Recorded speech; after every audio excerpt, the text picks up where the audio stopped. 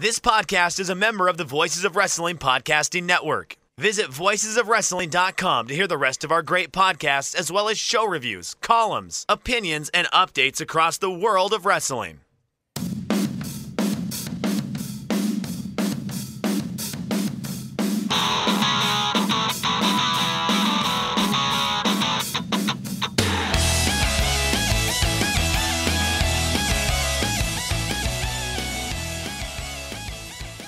Hello, and welcome to the Sport of Pro Wrestling podcast. I am Chris Samsa, and this is the New Japan Pro Wrestling G1 Climax 30 Night 8 preview. G1 Climax 30 continues on Thursday from Niigata with the B Block's fourth card of the tournament. This card is kind of like two civil wars happening at the same time, with two intra-faction matches at the top of the card. Los Ingobernables de Japón leader Tetsuya Naito will battle Sanada in Sanada's hometown in the main event of the evening. The semi main event will feature Bullet Club's two newest members, Kenta and Evil, battling as they continue to establish their role in the ever evolving faction. Third down the card, slow starters in this year's tournament, Hiroshi Tanahashi and Yoshihashi will each look to even their record at 500. The card with the most block points accumulated thus far in the tournament will kick off the tournament matches, with Juice Robinson taking on Toru Yano for the fourth G1 in a row followed by Hirooki Goto and Zack Sabre Jr.'s first match since 2018. You can find my complete statistical breakdown for every competitor in the G1 Climax at voicesofwrestling.com. I have interactive sortable tables for New Japan's 2020, detailed results and statistics for all 1,495 G1 Climax matches to date, as well as a full box score for this year's tournament at sportofprowrestling.com. And you can let me know what you find when you drill down some of that data by dropping me a line on Twitter at the Chris Samsa. So this event will come to us on October 1st, 2020 from Niigata.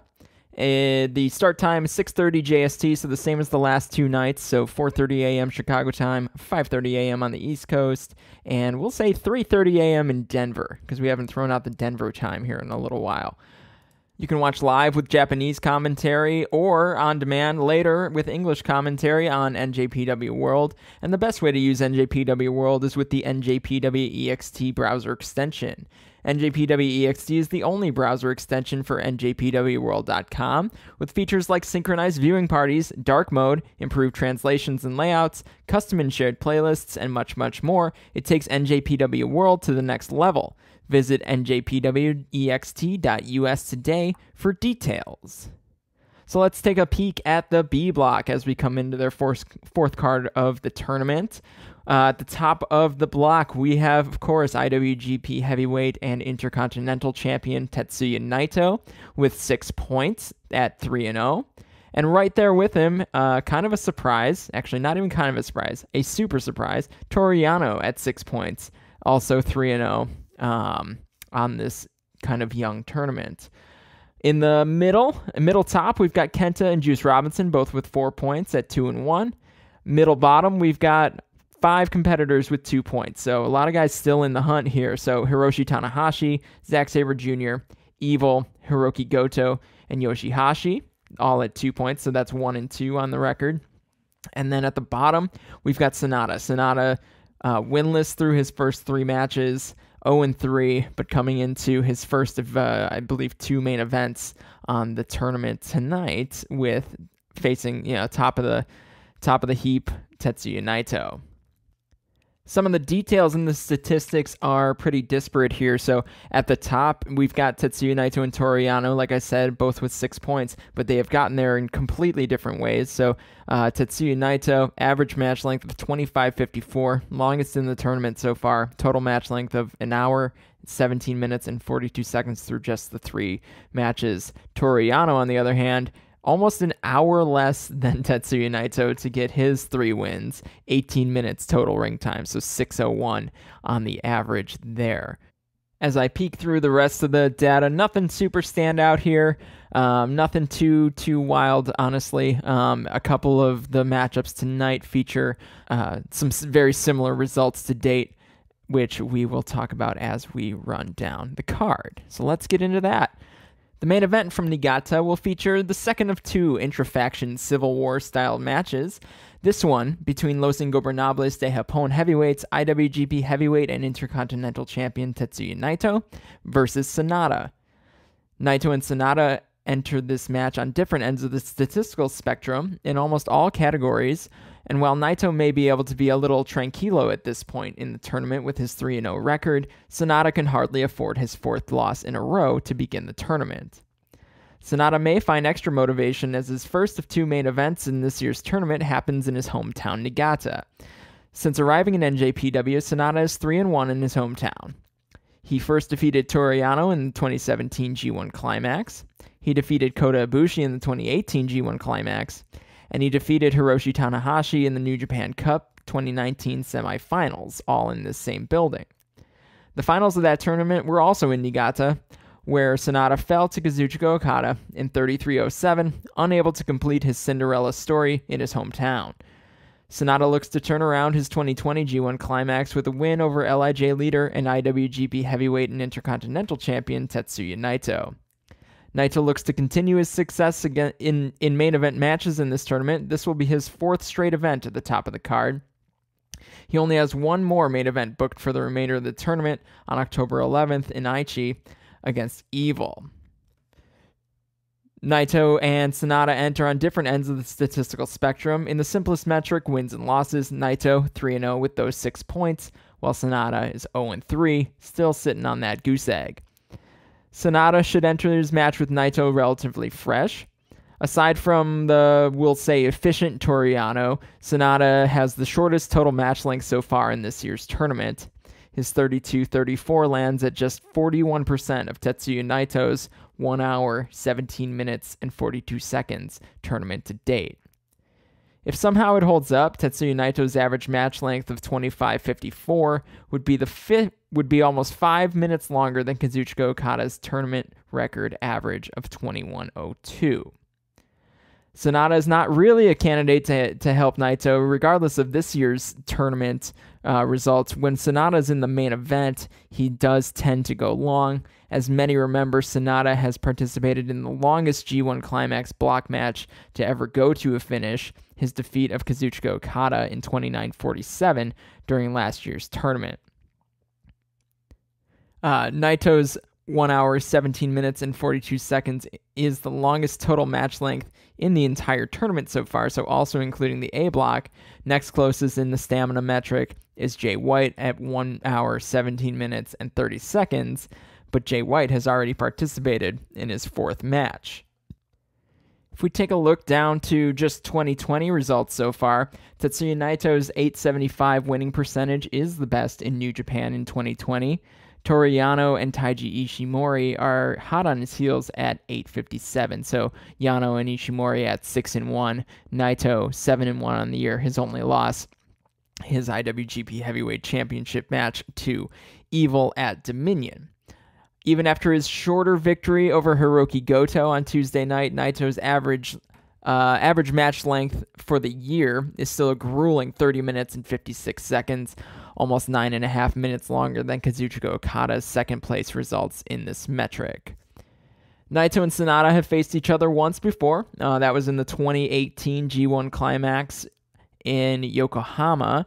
Naito has never lost to another member of Los Ingobernables de Japón in the G1. He defeated Sanada, Shingo Takagi, and Evil all once while they were aligned with the faction, so this will be his first time fighting someone for a second time.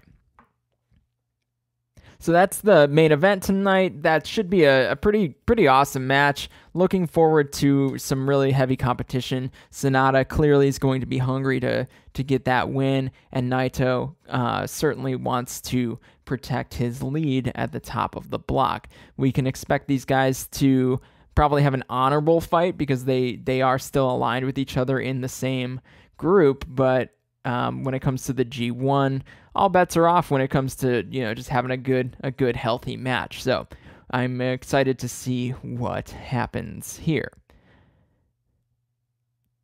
Second match down the card is Kenta versus Evil. Kenta coming in with four points, Evil coming in with two. The semi main event will feature the first intra-faction Civil War match of the evening, as Bullet Club's two newest members, Kenta and Evil, will face off in an attempt to establish their placement behind the kind of assumed now leader, Jay White, in the faction. Kenta used the end of last year's G1 climax to turn on Katsuyori Shibata and make a statement that he was aligned with the nefarious faction Bullet Club. At that point, Kenta had lost five straight G1 climax matches, ending his first G1 at eight points after a, after a pretty hot start. Well, a really hot start, four four wins in a row. Kenta has seemingly righted his ship in regards to G1 performance. He isn't coming out of the gates quite as hot as he did last year, but he's certainly positioned pretty well to do all right in this year's tournament, coming out at 2 and 1 so far. Evil's fortunes have turned south since losing the IWGP Heavyweight and Intercontinental Championships back to Tetsuya Naito at Summer Struggle in Jingu. At that point, he had rattled off seven straight victories through the New Japan Cup and his IWGP Heavyweight Championship matches. Since then, he's 1 and 2, suffering losses already in this tournament to Zack Sabre Jr. and Toru Yano. Evil looks to stay above 500 in his G1 career. He's currently sitting at 20 and 19. And while Kenta looks to advance past that 500 point, as he is now 6 and 6 through his first tournament and a half. Well, tournament and a third, if we're being really technical. In 2020, Evil's eight victories in New Japan are the second most, uh, behind only Kazuchika Okada's 10. Evil's average winning match length of 22.44 is second highest in New Japan behind only Tetsuya Naito's 29.55. That average is uh it's definitely drawn up by his 38.01 victory over Tetsuya Naito in their match at Dominion. Uh, when it comes to head to head, Kenta's victory over Evil last year was their only match. It was also Kenta's last G1 victory um, before this year's tournament. So after he lost to Evil, or sorry, after he defeated Evil, he lost five in a row. It'll be fascinating to see what Kenta and Evil bring to the table in their match against each other now that they're both aligned with Bullet Club. Evil has continued to use, uh, we'll say, nefarious means to try to drive victory, and uh, Kenta has actually been wrestling pretty clean. So I, I don't anticipate that will change. Kenta doesn't typically have anyone uh, coming out to the ring with him, whereas Evil still has Dick Togo and any number of, of you know, pardon the pun, evil plans to drive, uh, you know, his attempts at victory so far in this tournament. So I think, you know, I'm hopeful that we see Kenta continue to wrestle clean and try to establish um, dominance as he seems to be on a hotter streak right now over uh, over Evil. Third down the card, we'll have Hiroshi Tanahashi versus Yoshihashi. Hiroshi Tanahashi coming in with two points, and Yoshihashi also coming in with two points. Yoshihashi looks to gain his first career victory over Hiroshi Tanahashi in the third match down the card. Both competitors began their tournaments 0 2 in G1 Climax 30, but they were each able to get on the board at Korakuen Hall just two nights ago. Tanahashi and Yoshihashi entered their match statistically very even. Only 14 seconds separate them in total ring time. Their records are the same, and only a minute separates their average winning match length. Uh, there is quite the disparity between their longest loss. So Tanahashi's night one loss to Tetsuya Naito was the second longest match of the tournament thus far at 27-16. Yoshihashi's longest match of the tournament thus far landed at 17-21. That was his night four loss to Evil. In regards to G1 Climax history, uh, regardless of this year's results so far, these two remain on two ends of the G1 Climax results spectrum. Hiroshi Tanahashi's 84 victories are still the most in G1 Climax history. They probably will be for a very long time, while Yoshihashi's 300 winning percentage is the second lowest among modern G1 competitors. Only Tomoaki Honma's 143 is lower.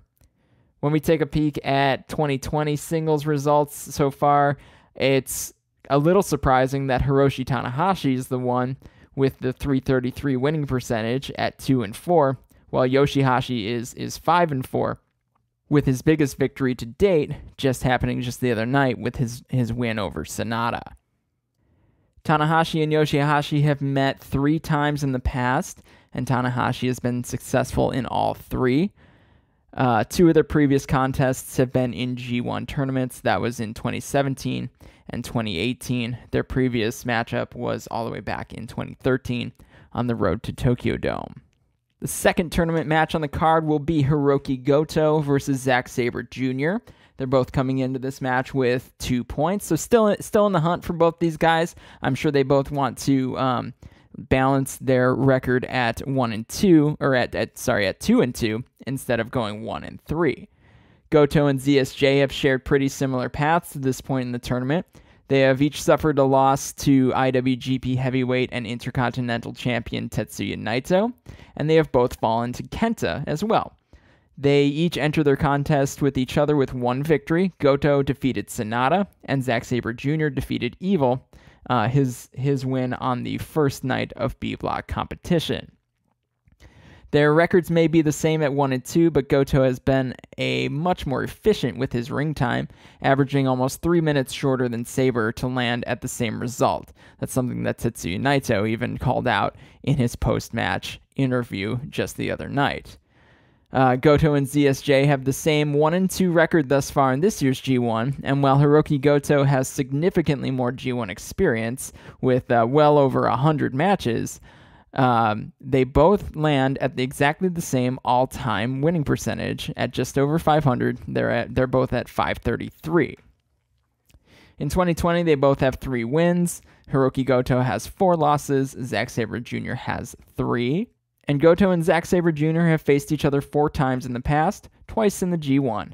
They are 2 and 2 all time, with Hirooki Goto winning their first two matches, including a never openweight championship defense at Sakura Genesis 2017 and a G1 Climax 27 match.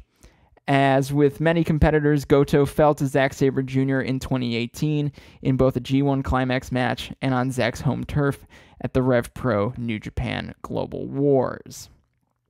So these two are poised to position themselves for a, a push to to land themselves uh, closer to the top of the block here if they can even themselves out at 500 uh, you can imagine that they will both be fighting hard to not fall further into that hole.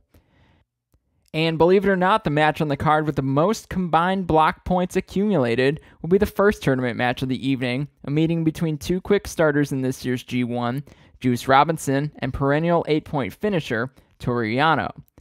Juice Robinson enters this match with four points. Toru Yano enters with a perfect 3 0 record, so with six. So that's a total of 10, which is the most on the card.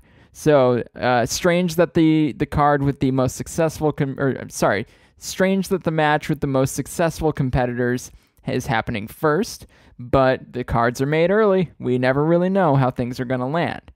There's not a ton to read into with this year's data points. Juice Robinson's total match length of 47-14 is nearly three times the 1804 it has taken Toru Yano to go undefeated through three matches. You can't say Toru Yano doesn't value his own time. He clearly does. He doesn't need a ton of time to figure out what's going to happen when he gets in the ring with literally any competitor under, under the sun. So, uh, it, with G1 Climax history, though, over the last 10 G1 Climax tournaments, Toru Yano has averaged eight points, never finishing with less than six. So that's his that's where he's at right now, but never finishing with more than 10. He is, of course, on pace for 18 in this year's tournament if he continues uh, down the path he's on. Juice Robinson has averaged a record under 500 in his first three tournaments, uh, landing with an average of uh, just over seven points. In 2020, Toru Yano's 857 winning percentage is second best in New Japan, behind only Tetsuya Naito's 875. Juice Robinson and Toru Yano have faced each other three times, each in the last three G1 Climax tournaments. So uh, every G1 that Juice Robinson has participated in. Juice has won all three of those matches uh, with only one match passing the four and a half minute mark. Uh, that was their 2018 match at 8 minutes and 28 seconds. So that's all I've got for you today. Uh, kind of a quick preview, but we've we've gone through all five of the G1 B block matches on the October 1st card from Niigata. After this card, the tournament takes three days off and will return on Monday, October 5th from Kagawa. Uh, with a main event of Kota Ibushi versus Will Ospreay, and another chapter in the story between Kazuchika Okada and Minoru Suzuki. I'll be back sometime, likely with a little bit more lead time before that event with my preview for that. This is my chance, everyone. This is my chance to get ahead of this tournament as uh, starting Monday, we've got six events in seven days. Um, of course, you can find this preview in written form at sportofprowrestling.com or voicesofwrestling.com, and you can give me a follow on Twitter at the Chris Samsa to interact with me during the G1. I appreciate you giving me a listen, and I will see you next time on the Sport of Pro Wrestling podcast.